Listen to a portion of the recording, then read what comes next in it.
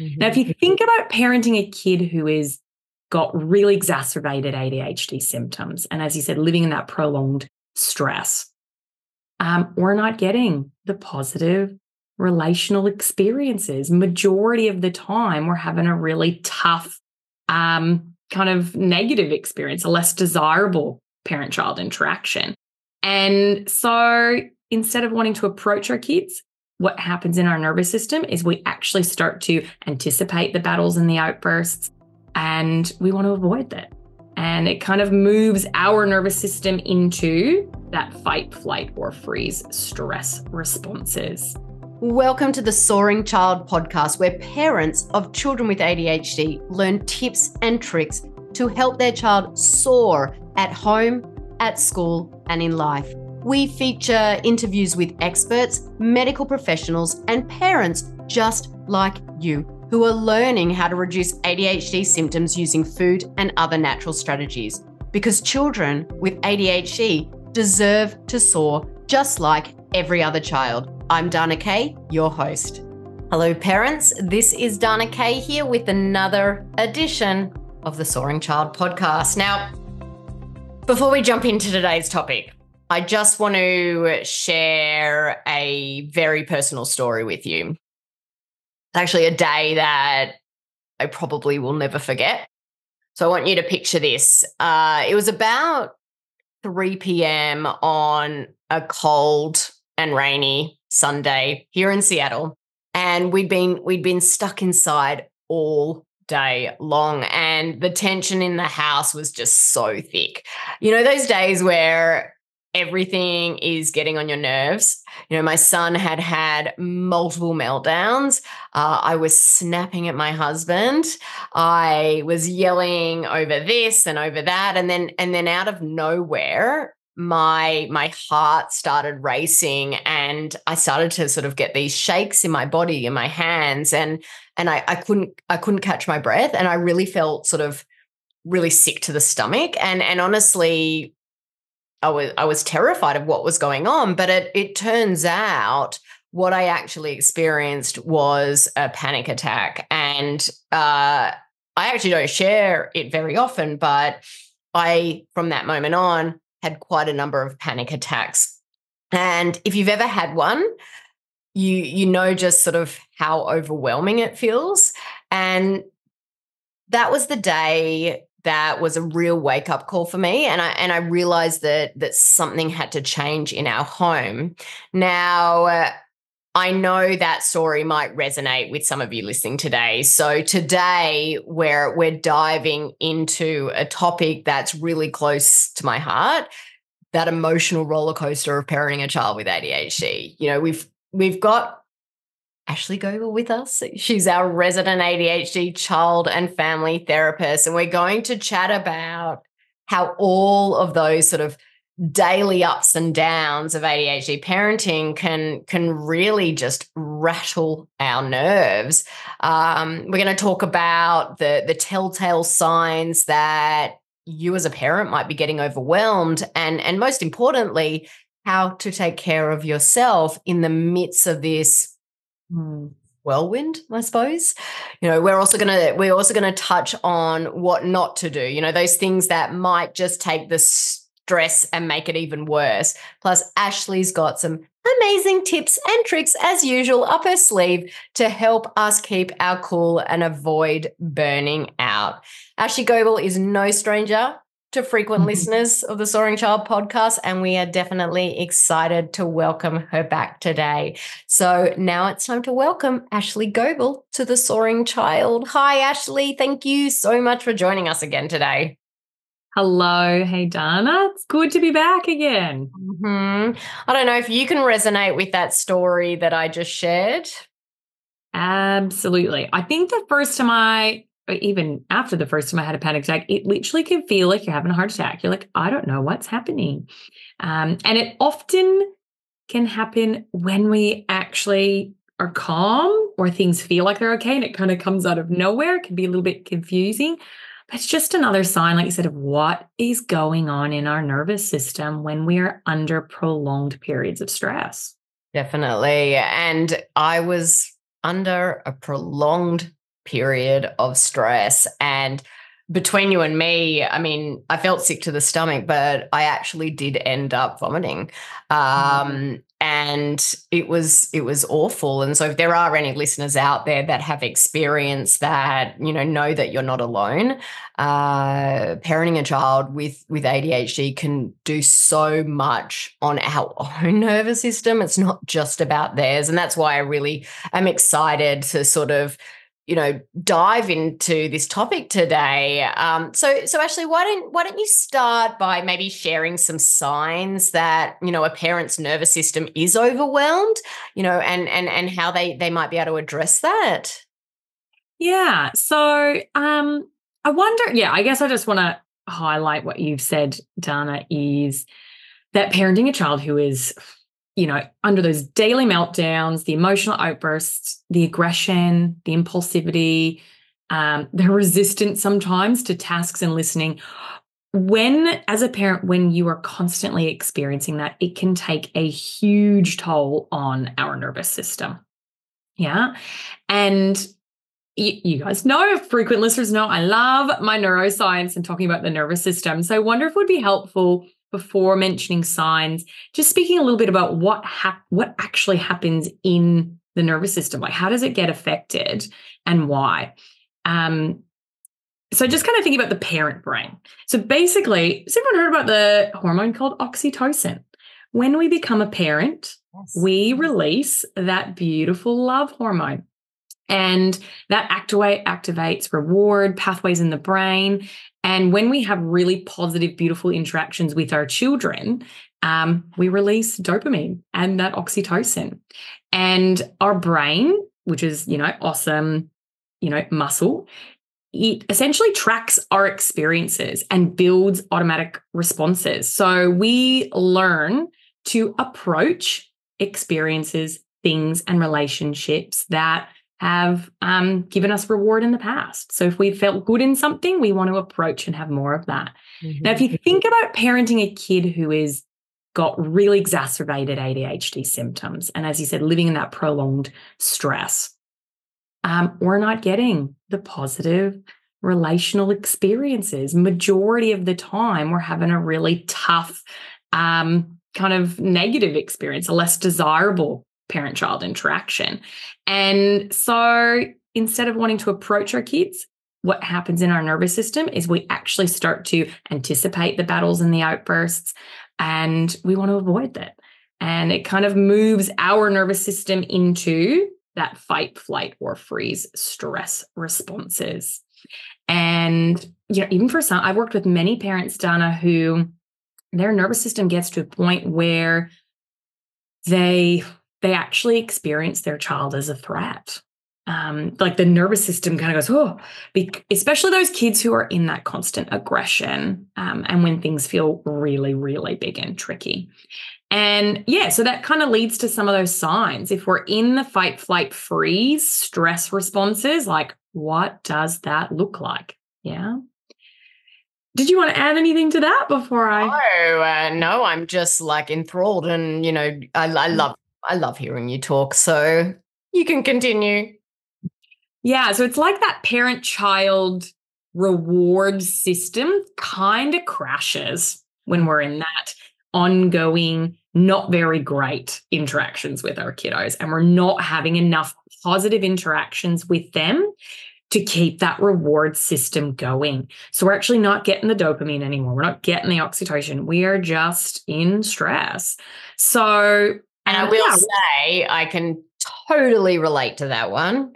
Uh, I got to a point when my son was struggling and my family was struggling where I would say to my husband, I do not like my son. I don't like to be mm. around him. And, you know, it got to a point where I just didn't want to be around him um, because he didn't provide me anything other than stress. Yeah, absolutely. And in the kind of therapeutic realm, we, um, I think it's Dan Hughes and John Baylin who do, do a lot of work in parent child relationship stuff.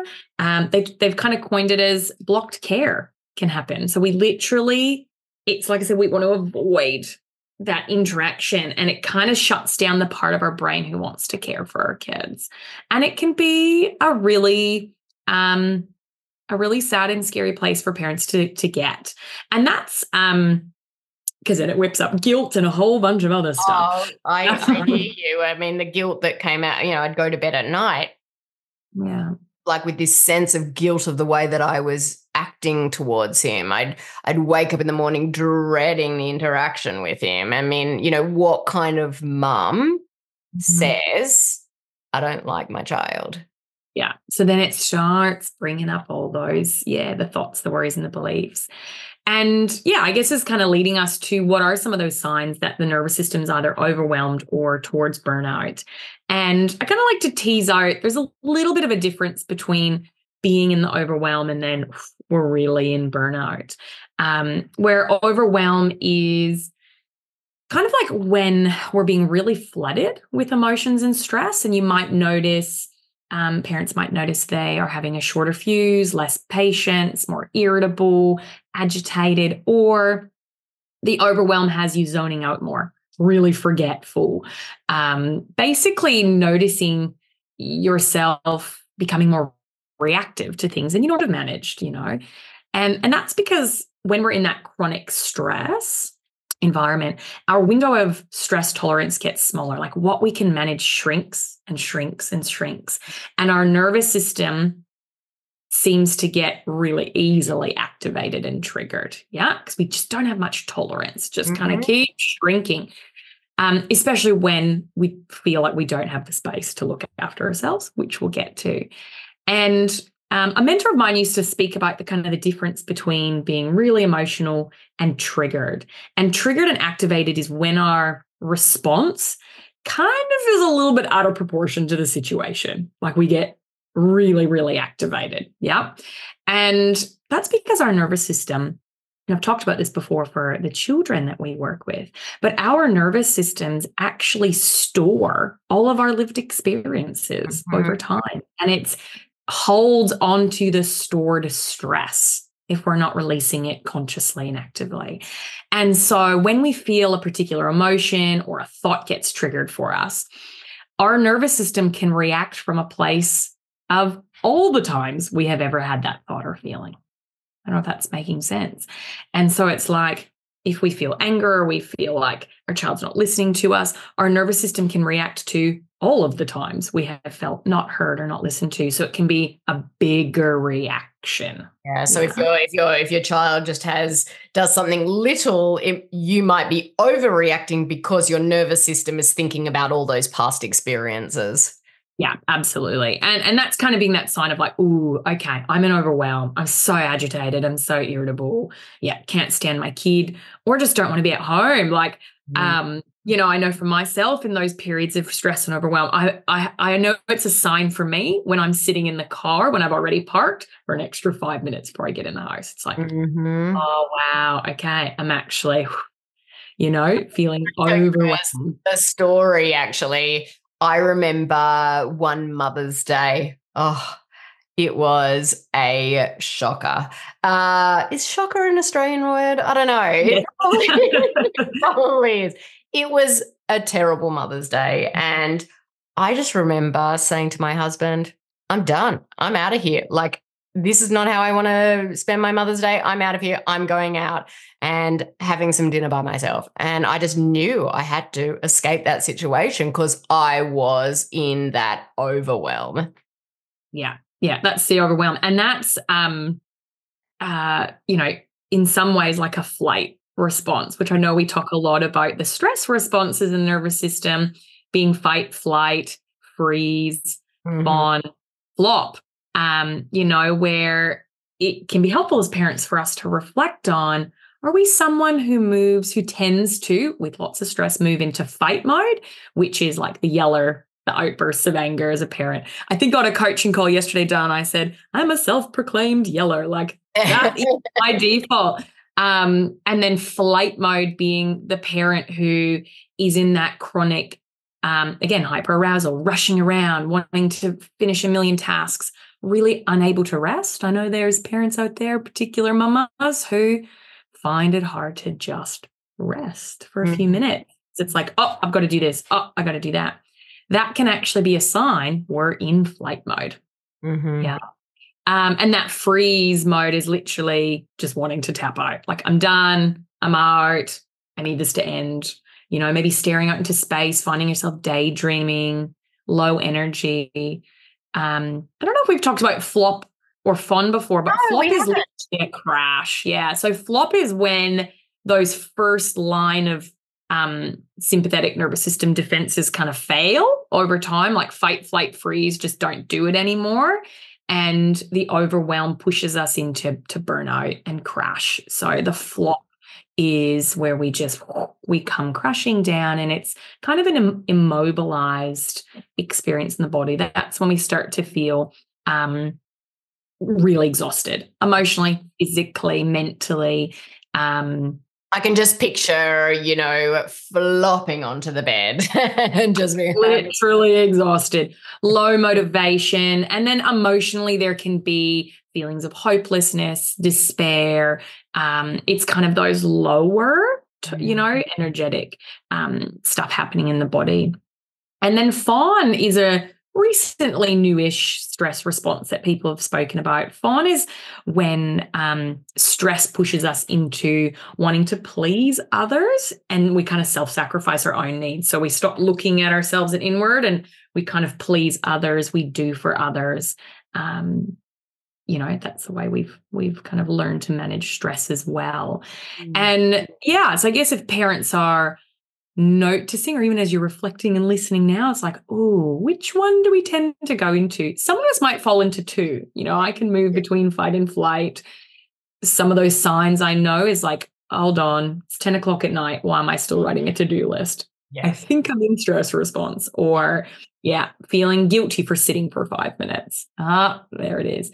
You know, so the more we can build our self awareness and get to know what it looks like when we have our stress responses. Um, and it's, I'm really mindful of the risk of burnout and that chronic overwhelm for parents who are solo, single parents and single mums. They're often are holding the emotional domestic load on their own. Um, or parent, you know, parents of partners, partners might travel a lot. And so they're, you know, or they don't have a lot of family and family support or social support. Yeah. No, I, I, I totally understand that. I really take my hat off to to solo parents uh, because you know when you've got another human being you've got to look after and you don't have that support system around around them but i i really like i mean just this episode alone in laying out those different responses and then mm-hmm. just reflecting on or even being aware of when you move to different responses. And that self awareness can be game changing in, in its own right. And when you're like, oh, okay, here I go, fight mode, you know, I can just imagine what what's that what's that um that old uh, uh, uh, computer game, you know, the little man coming down and doing the kickboxing and to, to try the fight mode. Uh, anyway, totally random sidestep there. But uh, when you're aware of it, you can take steps to mm-hmm. rectify it. Absolutely. We can note the more we're noticing what's happening in our minds, in our body, in our, yes, physiologically sensation, we start to get to know ourselves better, then we can, um, yeah, put in steps or get ourselves out of the dynamic sometimes. Or, yeah, mm-hmm. just being aware go means we can hope you know start to slow it down before it really starts to impact on mm. our mental health um, as you said um, because when we notice that our mental health is becoming impacted that's when we notice we're having those anxious thoughts depressed symptoms panic attacks and it's like okay we've mm. actually gone too far down the continuum of stress and we're not okay and you know that's when i really encourage parents to seek seek support outside of self as well. You know, whether that be um, your naturopath, your acupuncturist, kinesiologist, your doctor, other health practitioners, um, a therapist. Uh, you know, going, what That's are the ways that I can reduce? yeah, like how can I re- reduce stress right away? And then also looking at um, what's my sustainability plan here? Mm-hmm. You know, what's the self care audit? Um, what's my well being plan? How am I going to sustain parenting? Um, in this way because it, yeah. it's actually not sustainable when your kid has exacerbated mm. symptom um, but we also know that we also can't soothe our kids nervous system if our nervous system is totally shot Oh, a hundred percent. Well, you just mentioned um, self care, so I think it's a it's a good segue to sort of discuss the importance of that, um, mm. especially you know for parents in in the context of raising a, a child with ADHD. Yeah, um, I mean it's it's vital, it's critical. yeah. I know I know we talk about this in many of our podcasts at Dana's. Um, we're we as parents, we're the container for our children's nervous system. We are their safe place to grow. And we know kids with ADHD, they need extra help and scaffolding to grow, to exercise the brain, to grow their executive functioning and their emotional regulation. And I, I mean, I've worked with, you know, hundreds of parents and have I've also seen the profoundly adverse impacts of living in chronic stress without support. Um, we know it manifests into inflammation, disease, yes. lowered immunity.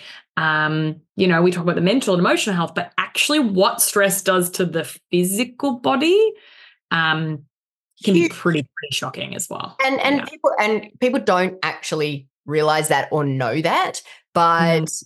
stress is the silent killer.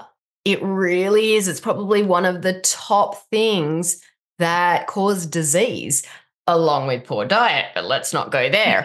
uh yeah, a hundred percent. Yeah, yeah.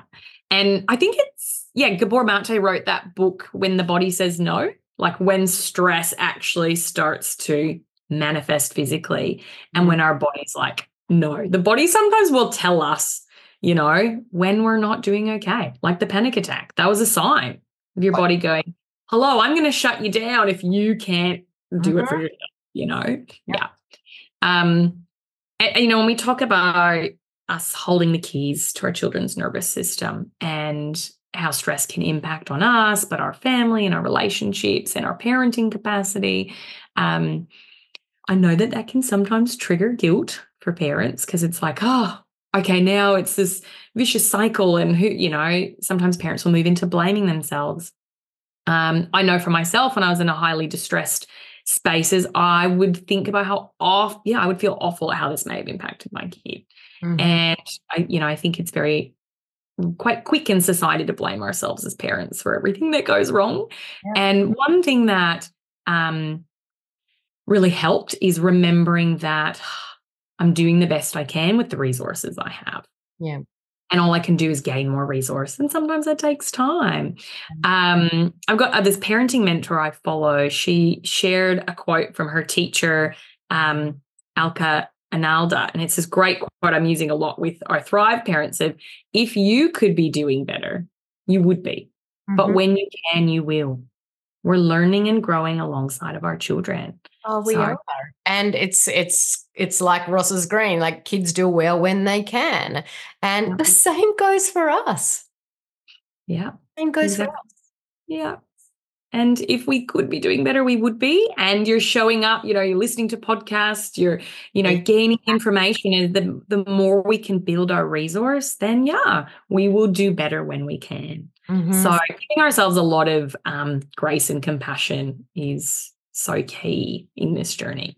Definitely, definitely. So, do you have any sort of uh, tips around the self care uh, side of things for parents? I know, I mean, that's probably a whole separate topic for an. Mm, maybe we'll uh, we'll tackle that one next. But, uh, anything- yeah, I definitely have some tips. I mean, definitely some things of the don'ts to do, the avoidant, the voids, yeah. the things to avoid, um, because it's going to exacerbate or overwhelm. So you hear Dana talk about this a lot. If you can, avoid your inflammatory foods, you know, um, also avoiding caffeine, alcohol, too much sugar, which I know, ironically, as adults, it's sometimes the first thing we want when we're stressed. Mm-hmm. Yep.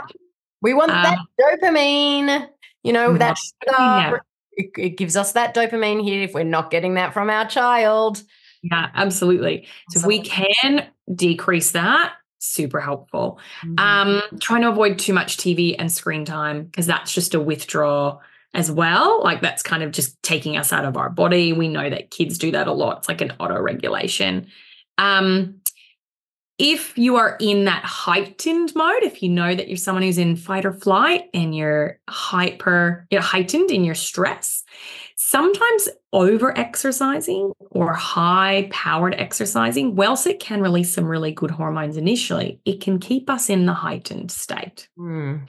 But being really mindful of like, I know there's lots of parents are like, yes, I went and did a massive run and I've been at the gym, but I might, but you spend your whole day really anxious. So when we're heightened, we actually want to down regulate ourselves. Mm-hmm. And when we're feeling really burnt out, lethargic, low motivation, we want to up regulate. So it's kind of a tip to be thinking about again as you expand your awareness on what your stress responses are, what symptoms are coming out for you, going, do I actually need to be energized or do I actually need to come down a bit? Mm-hmm. Yeah. And so then choosing the kind of practices or self care around that. Yeah.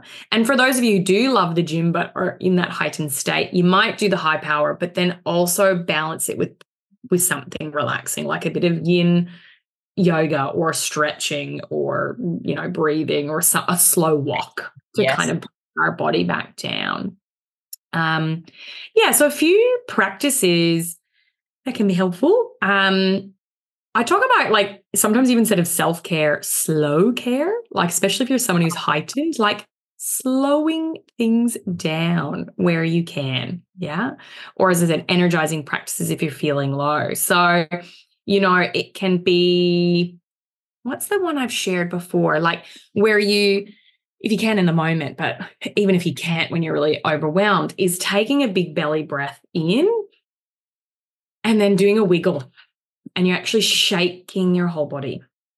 So, and you might notice when you consciously move into breath where your breath is. If it's like sitting up here, we know that we're probably a little bit stressed. Can you get it to your belly? It's okay if you can't, just noticing where the breath is. So, yeah, doing that breath in and doing a wiggle. If you can do a breath in, a wiggle and smile, feels a little bit silly. Um, that can like kind of be a little circuit breaker. Yeah. Um, and is that for that's for when you're in that heightened state? When you're in real overwhelm. Yeah. Even when we're low, overwhelm kind of sends us into zone out. If you're noticing that as well, you can do breath in. Um, when we're really heightened, we actually want to extend our exhale. When we're really low, we actually want to extend the inhale. Okay. Yeah. So, okay, listeners, go get a pen and paper. Just press pause. okay, you've got that pen and paper. You're back. Unpause what you want to write down. So, can we just repeat that, please, Ashley? When we are heightened, we want to extend our exhale. And when we're really low, lethargic, we want to um, extend our inhale when you're mm. doing that kind of conscious breath. And if you take, even if you do four breaths or three breaths, um, some other little micro body activities can be as simple as um, just bringing conscious awareness and softening your brow, mm-hmm. your forehead, going, oh, where's my jaw? Unclench my jaw. You know, sometimes I do a little micro massage on my jaw and I'm like, whoa, okay, yep, we're sore. Um, even like shoulder rolls and neck rolls. So the back of the neck um, is kind of connected to different parts of the nervous system that can bring on that parasympathetic nervous system, which is like the nice soothing one, um, good for sleep. You know, sometimes you can get a little towel and roll it underneath your neck and lie down. So you have a bit of a um, arch there. I don't know if people know, but I think I was telling a parent the other day for a little kiddo to do it, put legs up the wall so you're in mm-hmm. kind of a 90 degree angle, legs at the wall, back kind of on the floor on the bed. That's again to kind of soothe. Um, and those, you can do that in a couple of seconds or a couple minutes. And it's just that connect to body, connect to body. Yeah. Some other ones um, that parents I've worked with and myself have found helpful is I invite parents to like, maybe with that pen and paper done, is writing down just five things that actually you enjoy even tiny things. So, for example, for myself, uh, coffee, my favorite podcast, uh, my favorite music album, getting outside to water the garden, and I like um, often diffusing essential oils. So they can be really tiny. Okay, things. actually, I just need to stop you there. So, uh, the favorite podcast. Please say you. Oh, definitely the Soaring Child. I definitely have a few, and like, yeah, it just can be something that you just go, you know what? I'm just gonna have my first sip of coffee, and doing that with a bit of my mindfulness, you know, or a herbal tea, putting your favorite podcast on, um, or my, you know, my favorite music when I'm doing a household chore because I love my multitasking. That's my flight mode. But, you know, sometimes it's doing it with the slowness and it's like, oh, I'm listening to something I enjoy whilst I'm doing something I have to do. Mm-hmm. So it's mm-hmm. kind of like building in rhythms throughout your day or your week, sprinkling it with the things that fill up your cup even a little bit. These are for really time poor parents. You know, I'm not saying, I mean, great, if you can get to the gym, get to a yoga class, go for a bushwalk, awesome. But if that's not always practical, because often we wait to do our self care. It's like, oh yeah, I'm gonna gonna do that. And then a month goes by and you're like, I haven't done it. So where can we sprinkle in the little tiny micro slow and self-care and savor it? Yeah. Um, if you can have one thing that you really look forward to um, during the week, like your favorite TV show. Yeah, outdoor walk, brunch with a friend, so you can hang on to that. Great. Mm. Uh, it's kind of doing a bit of that combination, if that makes sense. Um, it also can be. Um, I had a supervisor always says when I'm working with families that are really high stressed, and he's like, just tune down the stress in the house, get them to diffuse, light a candle, put on soft music in the background, um, diffuse essential oils. Don't even tell your kids you're doing it. Dim the lights. And we know again neurobiologically that that can soothe everyone in the house. And you just kind of put it mm-hmm. on, um, walk away. Um, another one, I don't know what, you, what if you've got any ideas, Dana, but you know, it can be as simple as watching something or listening to something that makes you laugh. Like I, I sometimes say to parents, when's the last time you genuinely have really laughed at something. Mm-hmm. And if you got to watch something to make you laugh, take that two minutes. Totally. Um, you know, we know laughing can just release so much good chemicals. Yeah. Um, I feel like laughing right now. I can tell you, I was just, I was thinking into my mind the last time I was laughing, and uh, which it, we, uh, me and my husband do laugh a lot together. Um, and I was just about to burst out laughing just thinking about the, the last time I was laughing. So it does, it just releases all of that. It releases that stress, doesn't it? Actually, these tips have been gold because you know, it's very easy for us to say, Oh, well, yeah, as you said, go to the gym every day, go for a walk every day. Sometimes that's not practical, but I love all these little micro tips because I think that, you know, as busy parents and parents that are under stress, they need these micro tips. So, guys, I'd listen to this episode again.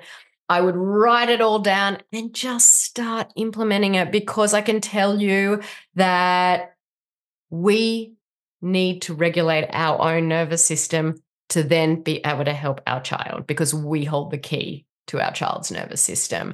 And so, I mean, Ashley, this has been so wonderful.